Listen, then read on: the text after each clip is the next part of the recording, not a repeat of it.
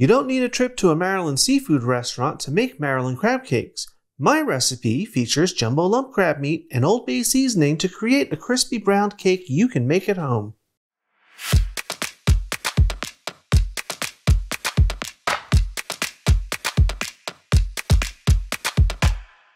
Hi everyone, welcome to today's episode of Let's Celebrate TV. I'm your host, Peter Lee. On this channel, we teach you all about celebrating. We share recipes for food, hors d'oeuvres, cocktails, and we share entertaining tips too. Now we try and keep it all as simple as possible, especially for those of you out there who say that you just can't cook or entertain, because we know that you really can. So if you like this episode, hit that subscribe button, hit the like button, and hit that notification bell, and you'll get a new episode every single week. Today, our celebration takes us to the sea we're making Maryland crab cakes, one of my favorites. Let's get started. So crab cakes, Maryland style or whatever style, it starts with crab. Today we're going to use jumbo lump crab meat. Now in my bowl here, I have a pound or 453 grams of jumbo lump crab meat. Now, if you can get it fresh, if you live by the ocean and you can get it fresh, all the better. Most of us don't. So I use it from a can. This is what I got today. Now the jumbo, fresh or canned, is more expensive, but it really is preferred. It has a better flavor. And if you watch for sales and you get these cans, it's going to last in your refrigerator for a long time. In fact, check the dates and you'll see most of the time they're good for at least a year in the fridge. So here's our crab. We're going to add some seasoning. We're going to start with Old Bay seasoning. This is Old Bay. This is found readily on the East Coast, but you can get it online and probably in most stores these days. This is a seafood seasoning. If you can't find it, you can use another crab seasoning, but this is the preferred. I'm going to use just one and a half teaspoons. I'm going to just sprinkle it over the crab meat. Next, scallions. I want a little freshness, a little herbage. I have four scallions, just the green part, just chopped up right in. A little more herbs, some parsley today. Tablespoon, chopped up. Just going to add a little more brightness, a little lift. Next, I want to start binding this together. So I'm going to add breadcrumbs. Now, you need up to four tablespoons, but I'm going to start with just two. And the reason is every batch of crab is going to be a little different. If this is enough, it'll hold together. If it's too wet, I have two more tablespoons on the side. So I'm going to add these in. I'm going to give this just a little mixy right now, just to start it coming together. But I want to be careful and not break up these lumps too much. All right, now to bind this together, first some mayonnaise. This is a quarter cup or 60 grams. Right in. Put that all in there. And then a large egg, just slightly beaten up.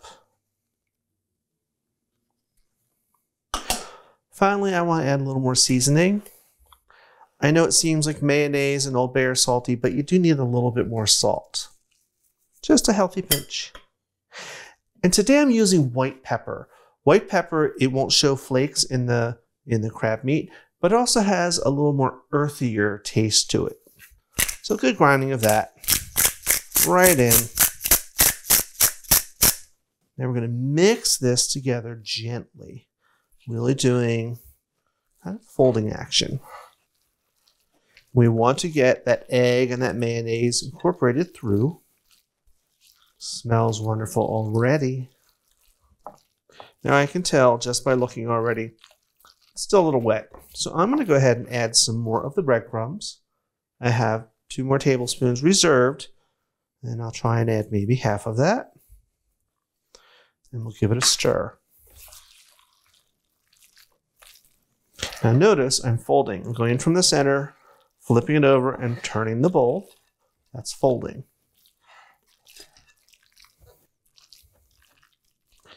And I'm going to go ahead and just add the rest of these today. That should do it. Okay, this is pretty well mixed, I think. Now we're going to make our cakes. Put this aside. I have a little sheet pan here. And I've just lined it with some parchment paper. If you don't have parchment, you can use wax paper. This is just to help with cleanup. So we're going to divide this into four equal parts. And using your impeccably clean hands, you're going to make them into little cakes. And actually, they're very big, healthy cakes.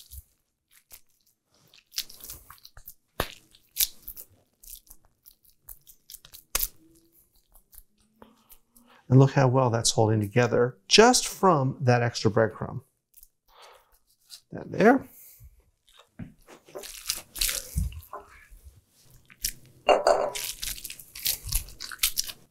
Few little pieces left over.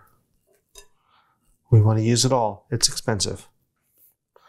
All right, now wipe my little hands. These have to chill. You don't want to just try and cook these right now because they'll just fall apart and disintegrate in your pan.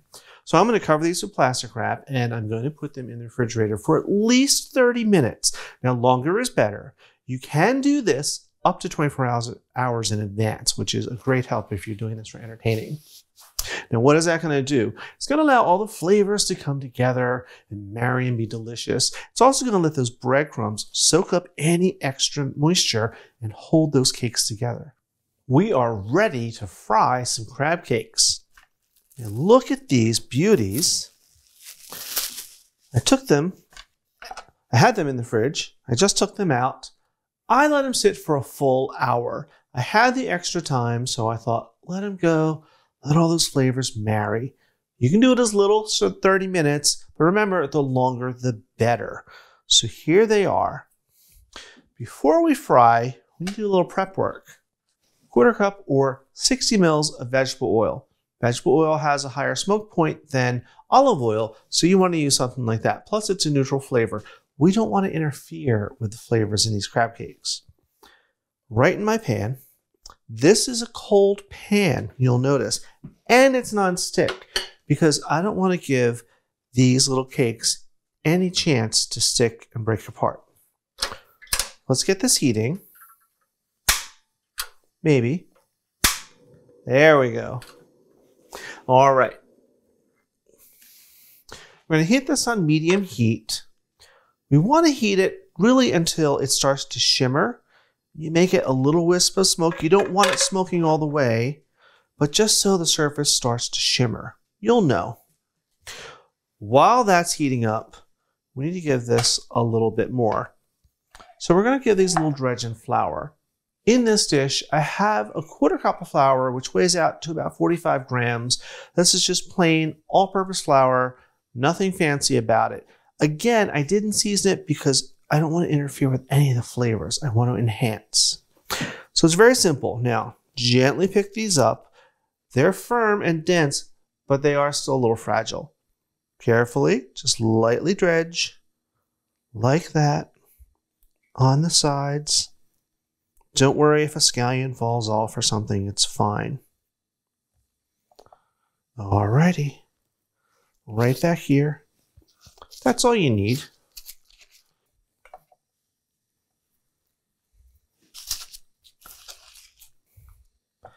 Okay. Now my oil is just starting to shimmer. I want to give it just another moment. Here's a way you can test it. I have a little piece of scrap here. Not quite ready. If it's sizzled, it'd be ready. Let the oil get hot. All right, now this little piece of crab I put in is starting to sizzle. I'm seeing a lot of shimmer. So I think we're ready to fry. You don't want it so super hot that you're going to get that big dramatic sizzle sound, but you want it hot that it doesn't soak up all the oil. You want a little sizzle there. Now, some cooks on TV will just put these in with their hands. I'm not so brave. I'm going to use a spatula because these are still delicate. All right, right in. There we go. Got a little sizzle there. It's just right. We're going to put these in.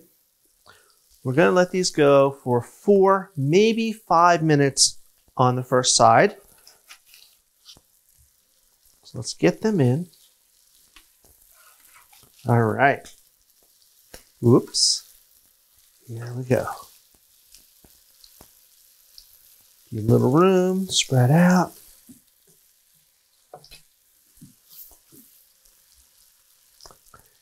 It's been four minutes. Let's flip these over. I'm going to use another spatula to help me because these are so delicate. I don't want to put my hand in a hot pan of grease. Better be safe than sorry. Let's just flip that over. Look at that. That's exactly what you want. Alrighty, we are going to let this go another four minutes on this side. That's going to develop the crust and it's going to make sure everything gets heated all the way through. It's been four minutes on the second side and they are done. I'm going to cut the heat. I'm to take these out. I have a little paper towel here in my tray to let them have a little drain.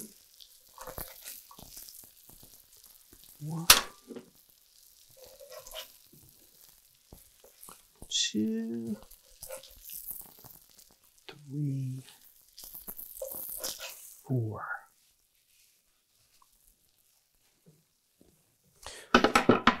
Now, normally I might just pick up my fork and dig into one of these for you right now, but you know, I want to give them a moment to rest. They just came out of a hot pan. They need to kind of catch their breath.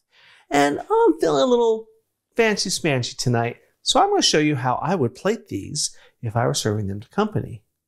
We are ready to plate these crab cakes. I have a nice plate here. Have a little salad. This is just some arugula, or in the UK known as rocket. I just dressed it simply with oil and vinegar, a little salt and pepper.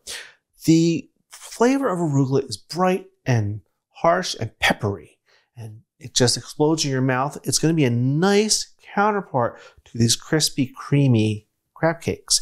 But I kept it simple because I don't want to compete with them. I want to complement them. Now we need some sauce. There's always a debate do you have tartar sauce or cocktail sauce? I say, why not both? So I have my favorite store bought, believe it or not, store bought cocktail sauce. And that's okay. I'm going to put a big dollop right here, maybe a little bit more. And we're going to just drag it through. Look at that. Simple. Let's turn this guy. Here's my favorite tartar sauce. We're going to do the same thing. Big dollop. Drag it through. Right over there. Now, our crab cake. I think this one looks good. We'll go right in the center. How beautiful is that? Now this is ready for me to taste and I really just can't wait. So I'm going for it. Ooh.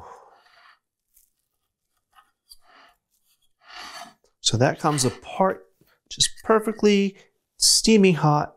Mm.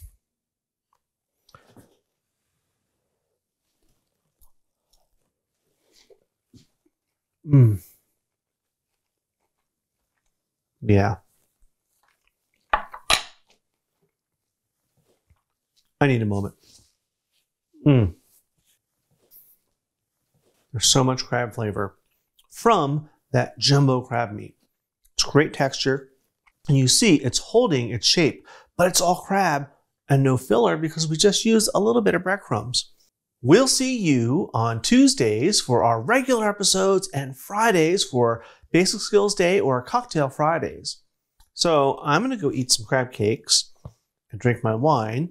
And I want you to watch some of these episodes over here. So until next time, cheers.